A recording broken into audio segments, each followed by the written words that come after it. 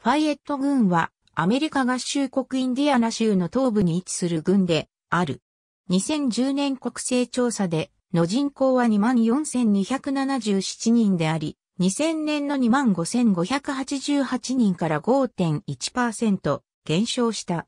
郡庁所在地はコナーズビル市であり、同郡で人口最大の都市でもある。ファイエット郡は1819年に設立された。郡名はアメリカ独立戦争に貢献したフランス人の英雄ラファイエット公爵にちなんで名付けられた。ファイエット郡の円筒形名やアメリカ合衆国国勢調査局によれば、郡域全面積は215.16平方マイルであり、このうち陸地215.01平方マイル、水域は0.15平方マイルで、水域率は0.07%である。近年、郡庁所在地であるウッドストック市の平均気温は1月の下肢15度から7月の下肢83度まで変化している。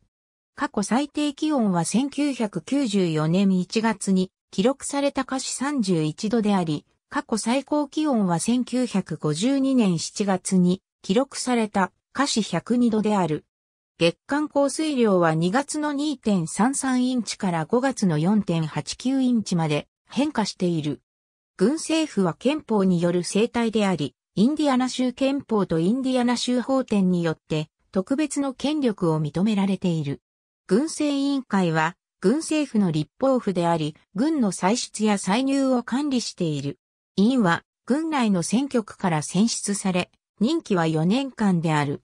給与、年間予算、特別支出を設定する責任がある。軍レベルで所得税や資産税、消費税、サービス税を課する限定付き権限があるが、所得税と資産税は州の承認を要する。行政委員会は軍政府の行政府である。委員は軍全体を選挙区に選出され、任期は4年間で2年ごとに半数が改選される。委員の一人、通常は最も経験のある者が議長になる。行政委員会は軍政委員会が決めた法を実行し、税金を集め、軍政府の日々の機能を管理する責任がある。軍はいくらかの民事訴訟を扱うことのできる小規模裁判所を維持している。判事は4年間任期で選出され、インディアナ州法廷弁護士協会の会員でなければならない。判事を補助するのがコンスタブルと呼ばれる法執行官であり、やはり4年間任期で選出される。特定の事件における判決に対しては、州レベルの巡回裁判所に控訴できる。上記以外に保安官、検視官、監査官、財務官、登記官、測量士及び巡回裁判所事務官が選挙で選ばれている。任期は4年間であり、軍政府の異なる部門を監督している。軍政府に選ばれる役人は、支持政党を公にすることが求めら、また、軍の住人でなければならない。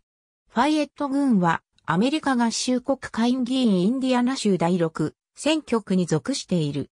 インディアナ州議会上院では第42選挙区に属しており、下院では第55選挙区に属している。基礎データ人種別人口構成以下は2000年の国勢調査による人口統計データである。ファイエット郡は下記9つの軍区に分割されている。ありがとうございます。